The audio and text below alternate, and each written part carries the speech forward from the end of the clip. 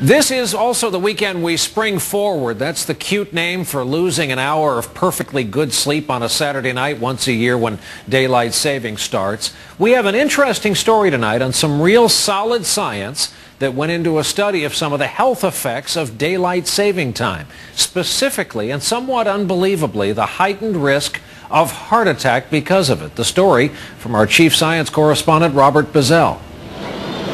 This Sunday, 1.5 billion people in the world will lose an hour's sleep when their clocks spring forward for daylight saving time. For many, that lost hour of sleep can be just a bother. But a recent study of thousands of people in Sweden found it can have profound effects on the body. In the two weeks after the spring change, heart attacks go up by 5%.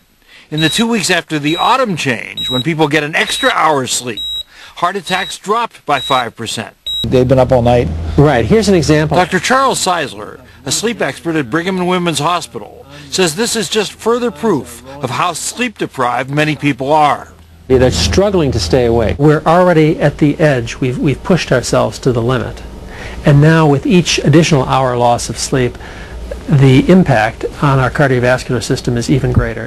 Studies indicate that in the Western world, an average night's sleep for adults decreased from nine hours at the beginning of the 20th century to seven and a half hours now.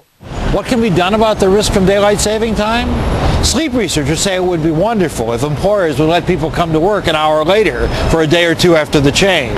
But that's not likely to happen. But they do say that the extra hours of light in the evening offer an opportunity for more exercise, which can counter the negative effects of the sleep loss. Robert Bazell, NBC News, New